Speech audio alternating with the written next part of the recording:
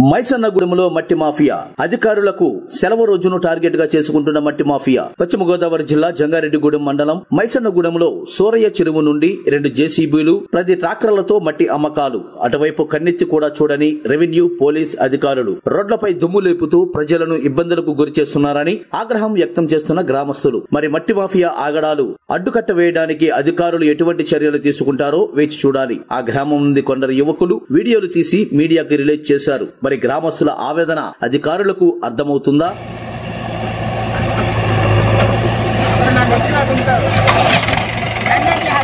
చేసేలే